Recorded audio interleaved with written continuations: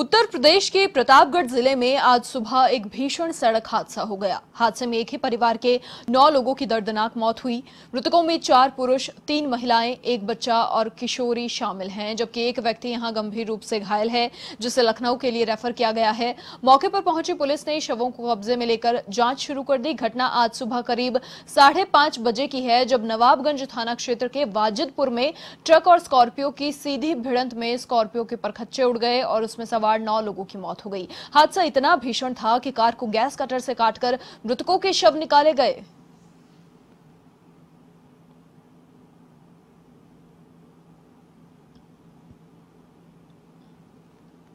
बेटे की सगाई के लिए ये लोग घर लौट रहे थे और इस दर्दनाक हादसे में नौ लोगों की यहाँ पर मौत।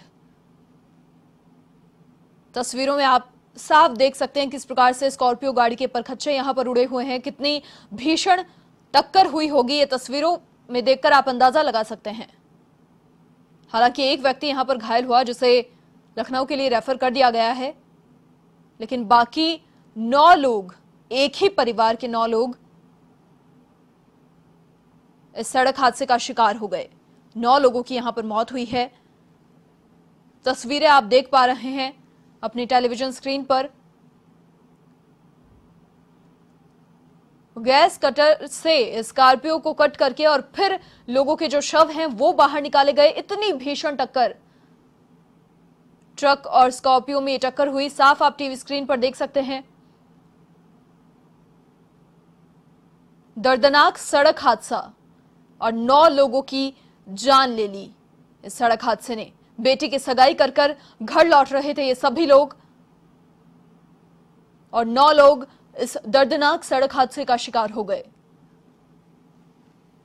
टक्कर कितनी भीषण हुई होगी, ये आप तस्वीरों में देखकर अंदाज़ा लगा सकते हैं किस प्रकार से ट्रक और स्कॉर्पियो की यहाँ पर टक्कर हुई। गैस कटर से काटकर गाड़ी को अलग किया जा रहा है ताकि लोगों को बाहर निकाला जा सके। जो लोगों के शव हैं, उन्हें बाहर निकाला जा सके। भीषण हादसा, सड़क हादसा, ये आप देख सकते हैं अपनी टीवी स्क्रीन पर बेटे की सगाई कर कर ये सभी लोग घर लौट रहे थे।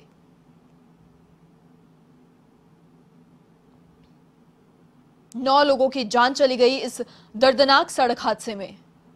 तस्वीरों को देखकर अंदाज़ा लगाया जा सकता है कितना दर्दनाक ये हादसा हुआ होगा। करीब सुबह साढ़े पाँच बजे की घटना है ये। साढ़े पाँच बजे यह हादसा पेश आया। दर्दनाक सड़क हादसा। नौ लोगों की जान यहाँ पर चली गई। हालाँकि एक को गंभीर अवस्था में लखनऊ रेफर किया गया है, जो घायल है। बेटे की सगाई कर कर ये सभी लोग घर लौट रहे थे।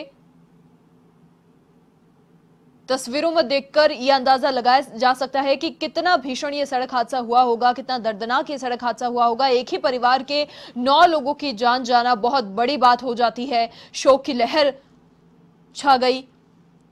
बेटे की सगाई के लिए घर लौट रहे थे ये लोग। और इसी दौरान सुबह साढ़े पाँच बजे इस दर्दनाक सड़क हादसा पेश आया।